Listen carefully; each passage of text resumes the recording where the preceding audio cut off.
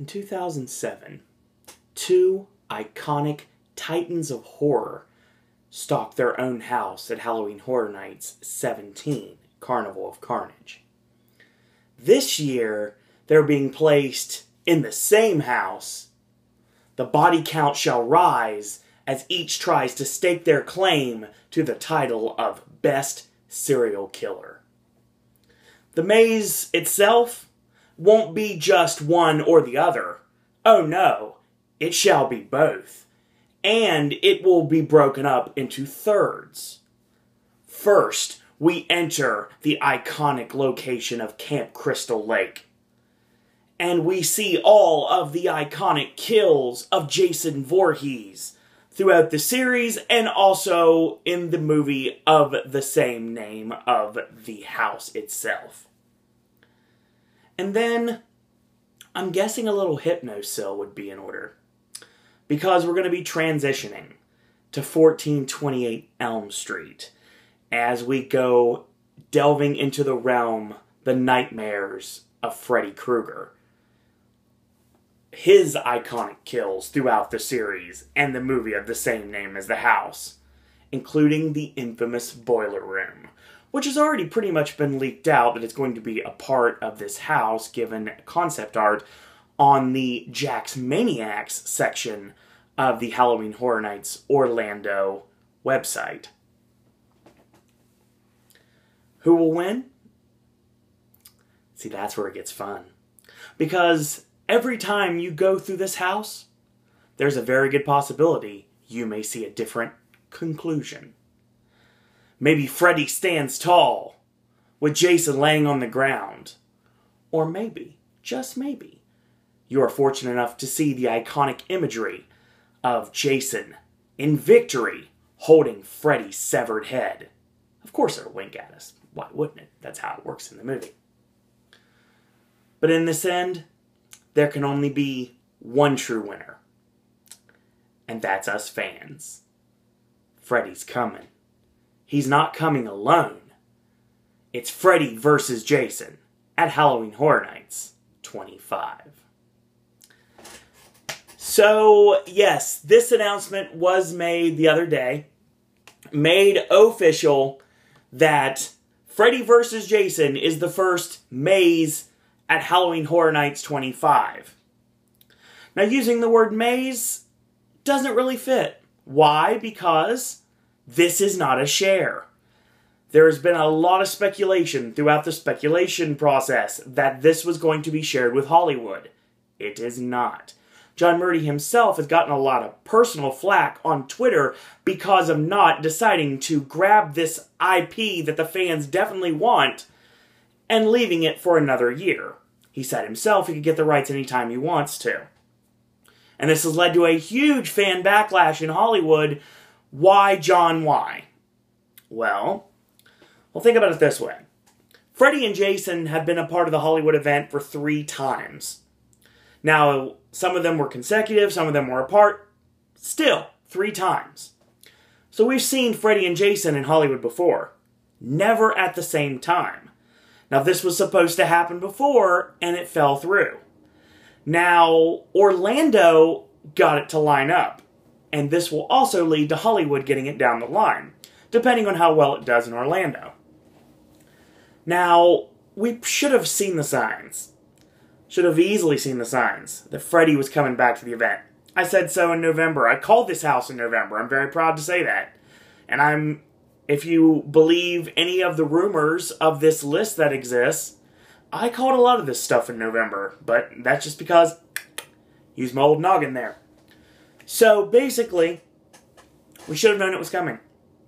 2012, Resident Evil Escape from Raccoon City. We saw the Elm Street sign. 2013 or 2012. I think there was actually something in the house in 2012, but I'm not positive. Sorry about that.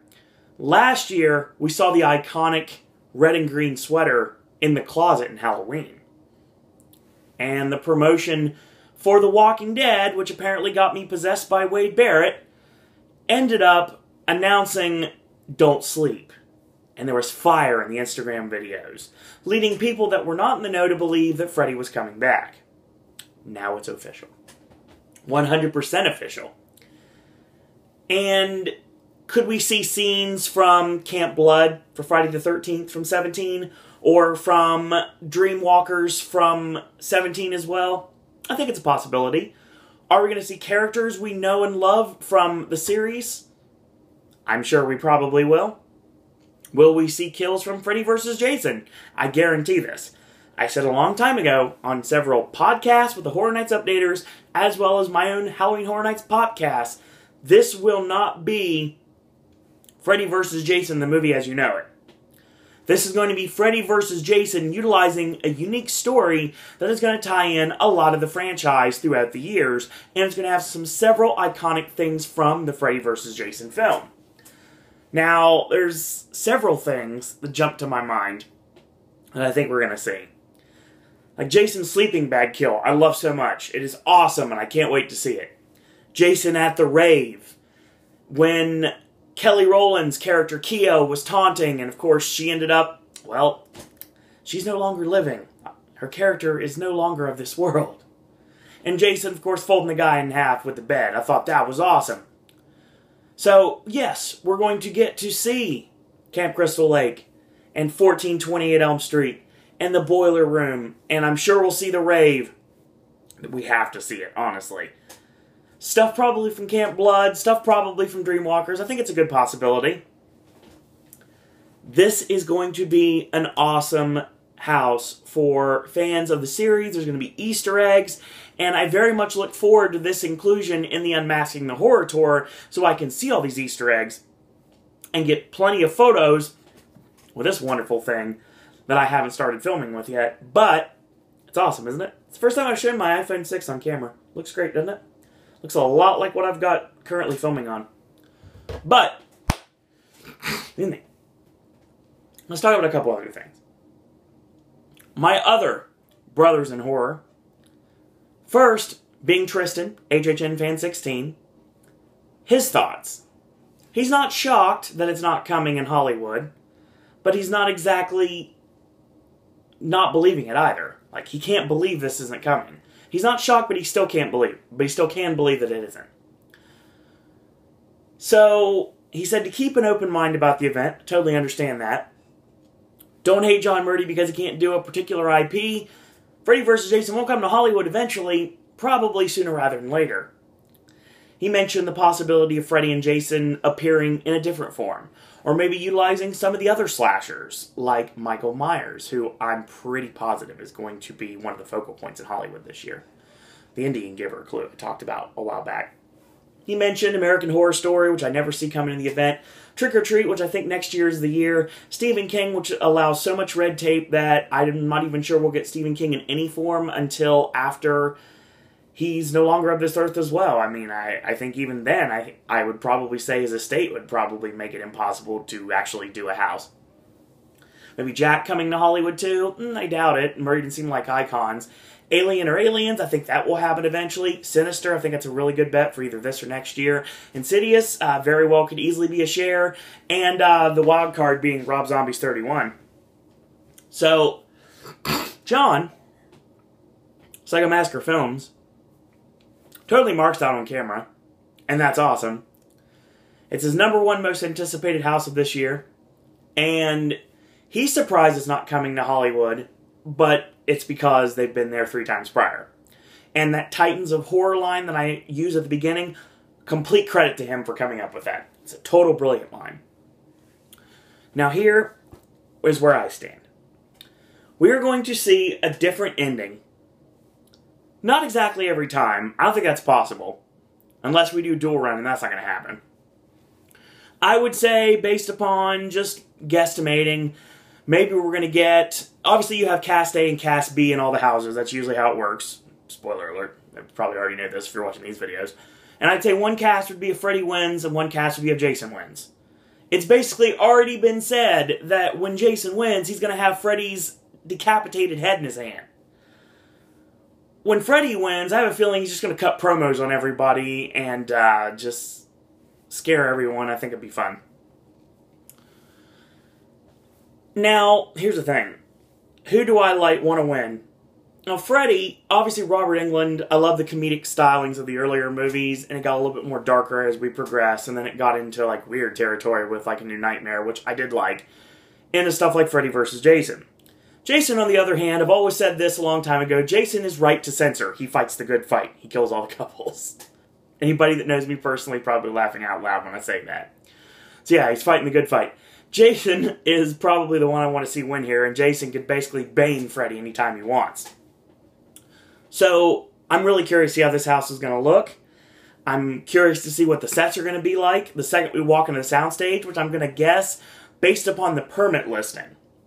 There was a rumor this was going to be in 25, where The Walking Dead was last year. I think this is going to be in 21, which we haven't seen used at the event for a while. I believe the last time we've seen it was in 2013 when it was shared between, I think, Resident Evil and Cabin in the Woods, if I remember correctly. Don't have that information in front of me. I think that's correct, though. But yeah, I'm really curious to see how this goes. Should be fun. Should be really fun. Now, obviously, with the announcement of the first house, which is not The Walking Dead, even though I truly said that this will make The Walking Dead not the focal point of the event this year, and it's not going to be, it's just going to be a house, and that's it. That's all it is. It'll probably be marketed a bit, but it's not going to be as heavy as it normally is. I think Freddy vs. Jason is your head IP this year, and I think that makes perfect sense. He can be basically Freddy can and Jason can be part of Jack's Maniacs. I thought it'd be a great idea to utilize that Jack's Maniacs um, location for the teaser video, which we had the introduction of Jack, and bringing out the different maniacs from the different houses. And I think that would be great, but they haven't gone that path. I, maybe I gave them too much credit. Who knows? It was a good idea in my head. Another thing, the announcement of ticket prices has made the announcement official that the conversation I had with Brian of Orlando United has come to fruition. No more midnight closures. Midnight is done. No more midnight at Halloween Horror Nights. If you're at Halloween Horror Nights at midnight, you still have either one or two hours left. Because, as of this moment, it is official. Halloween Horror Nights 25 will have theme park closures at 1 and 2 a.m. And if you're curious, the 1 a.m. closings will be on September 18th, the 29th, mm, excuse me, the 24th and the 27th, October 4th, 1st, 7th, 14th, 21st, 28th through 31st, and November 1st. Now, 2 a.m., they will be closing. Those special peak nights, October 2nd and 3rd, 8th through the 11th, 15th through the 18th, and the 22nd through the 25th. So let's talk about tickets, shall we? As I have my notes in front of me here. Halloween Horror Nights tickets. A one day ticket. You don't have a park admission or anything. You're just coming over to Halloween Horror Nights. That's all you're going to do. Go to the event. $102. This all includes, does not include sales tax, just like the new Regal prices. They don't include sales tax. This is plus tax. $102. It is a $6 jump from last year. Mm, we added an extra house, some more stuff in the streets. Okay, I get it. If you already have park admission, add on tickets are the way to go. Now, for September 24th and 27th, October 1st, 4th, 7th through the 8th, 11th, 28th, 29th, and November 1st, 50 bucks. 50 bucks. October 14th, 15th, 18th, 21st, 22nd, and 25th, 54 bucks. September 18th and 25th, October 2nd, 9th, and 30th, $61. October 16th and 23rd, $65. And finally, September 19th and 26th, October 3rd, 10th, 17th, 24th, and Halloween, $77. Okay? Let's talk express passes. Express passes seem to be a godsend. Express passes for particular nights are as followed. There is a $20 jump from the previous year's price based upon what the dates would have been in actuality lining up. September 18th and 19th, the 24th, the 25th, and 27th, October 1st and 7th, $70 for Express. which is that rumored after 10 express that they didn't even mention here. So that's either put to bed or that's going to be something that's going to stay a shh, shh don't tell anyone. September 26th, October 4th, 8th, 14th, 21st, 28th, and November 1st, $80. October 15th and 29th, $90. October 2nd, 3rd, 11th, 18th, 24th, sorry, 22nd, my bad, 22nd, 25th, 30th, and Halloween, $100. If you go on October 9th, $110. If you go on October 10th, 16th, 17th, 23rd, or 24th, $120. Welcome to Hell Week, folks. Express will be utilized in droves, but it may be cut down a bit because of the pricing, which is going to help us out just a little bit, the people like me that don't use Express. But the most bang for your buck, without a doubt, is the frequent fear passes. Alright?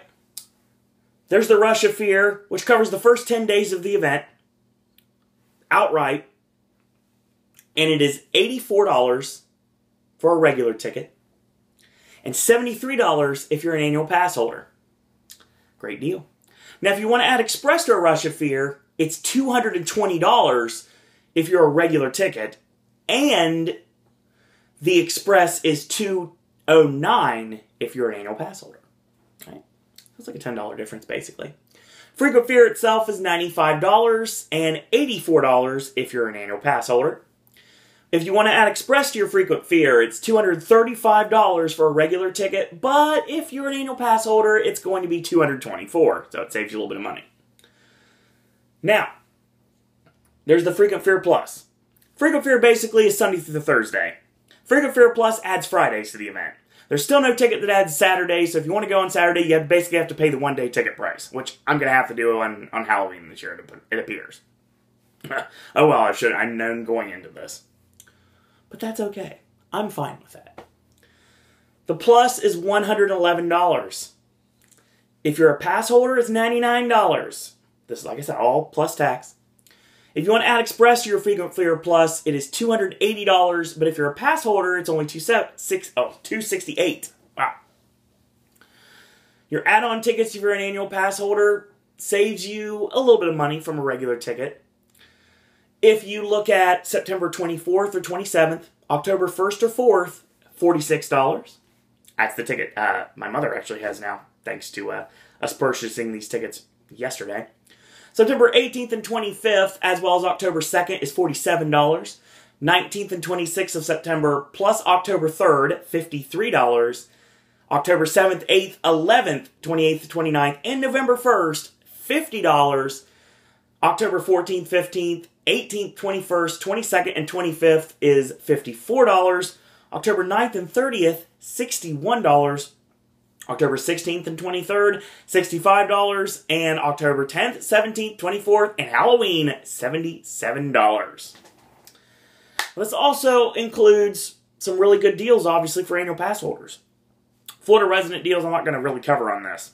I don't really have that information, so I'm not going to cover it. Now, there's the tours. You have the basic RIP tour, which lets you visit the RIP lounge with a cash bar, VIP access to all the houses and the park attractions. And if you finish the tour in time for before park closure, you get express pass for the actual rides that are operating during the event. Reserve seating at Bill and Ted, and complimentary VIP parking. Now this caps at 12 people, and it's going to start at 8 p.m., and it usually runs between 2 and 4 hours. I would guess this year, given the fact there's 9 houses, five scare zones, two roaming hordes, supposedly. Two shows, I would say probably this will be more four. Did not run every event night last year, so keep that in mind. $110. That was last year's price. My guesstimation, based upon how inflation's going up this year, I would say it's going to go up either 10 to $20. So I think probably 10, 10 bucks more. I think you were looking about $120 for this. Now, if you want to do a private RIP tour, it's 10 people in a group everything I just mentioned, but you get complimentary water and coffee after the tour, and a complimentary Photo Connect Star Card package. Two hundred, oh, sorry, twelve hundred ninety nine dollars, so thirteen hundred dollars.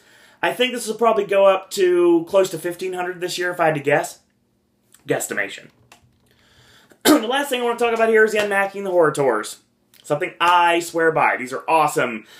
They take you in the morning at 10:30 a.m. It's called the Morning Menace Tour. You go through three houses with a tour guide. I recommend David. He's absolutely awesome. He's been my tour guide the last two years, and he's going to be my tour guide forevermore until he leaves Universal, whichever comes first.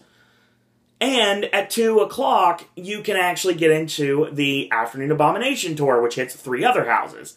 If you want to do both in the same day, you'll get a discount. Now, last year it was $60 for the morning or the afternoon, and then $100 for both. This year I think it jumps up $10, so I think we're looking at maybe $70 for morning or afternoon, and probably about $110, $115 for uh, the double shot.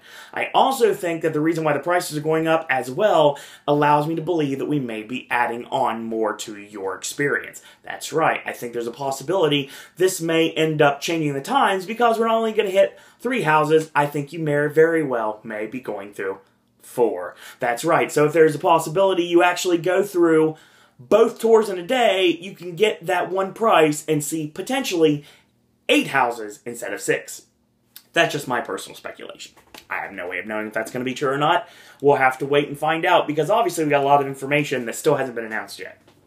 So that's your video today, talking about Freddy vs. Jason and uh, the new ticket prices. I'll be doing a podcast later tonight with members of the Horror Nights Updaters. Psycho Massacre Films will be joining me, as well as Dr. Emmett Brown 1 and uh, the Red Steel TV. They will be joining me from HNU. Alex Show Official will be joining me, and we may have some special guests to be announced. So uh, stay tuned for that. That's coming up at 9 p.m. tonight on Pop. So uh, check that out. I'll tweet a link out to it so you guys can check that out and get to uh, watch that podcast. We're to talk about the ticket prices and Freddy versus Jason, get everybody's opinions. So that should be a fun time, like it always is on these podcasts we've been doing on the regular here. And I'll do another video when we get more information on either Orlando or Hollywood or both. So that's your first official house announcement for Halloween Horror Nights 25 being Freddy versus Jason. So, as always, if you want the actual information from the mouth of the person that is the main reason it comes together, Michael Aiello, you can check out the Horror Nights Orlando Twitter feed. It's at Horror Nights ORL. While you're there, also, while you're on Twitter, go ahead and follow me on Twitter. It's at Sir Owen Disney. If you want to go to Facebook, like our Facebook fan page. It's under Sir Owen Disney Pop, or search for Sir Owen Disney and Pop. Some great forums like-minded individuals talking Halloween Horror Nights located at Horror Night Nightmares, as well as Orlando United and Orlando Informer. There'll be links in the description bar for those. And you check out some great uh, Halloween Horror Nights related sites. Get some info from DesigningFear.com, HHNCrypt.com, and Parkscope. So check them out as well. While you're at it, you can follow some of the awesome Halloween Horror Nights updaters, some of my really good friends, like I call them my brothers in horror, and that would be as followed my good friend Tristan, HHN Fan 16, the Horror Nights updaters, their channel, and a collaborative that would be Horror Nights Updaters. If you want to check out their individual channels, you can check out my good friend Vic, Dr. Emmett Brown 1, my good friend Aaron, The Red Steel TV, my good friend John, Psycho Massacre Films, my friend David and Crazy Englishman, my friend Neil, UKHHN, Deadly Fear 1283 and Mr. Horror Nights, as well as my friend James, HHN Updated 1, my friend Matt, HHN Trogdor, Admiral HHN, Thrill Seeker Network, Jeremy Films with double Z, so it's not just one Z, it's two Zs, uh, The Man in the MOLLE Vest, and View from the Cheap Seats, my good friend Kyle there, and uh, Aaron from First Class Horror. That's your video for tonight, and more information coming very soon. So until tomorrow, boys and girls, that's all I gotta say about that.